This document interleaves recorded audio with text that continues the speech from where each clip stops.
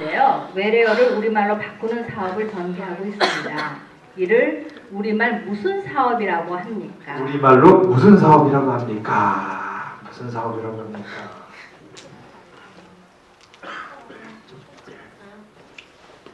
자, 오셨습니까? 자, 확인해보죠. 자, 들어주세요. 다듬기. 다듬기. 야, 둘다 네, 나왔 calma.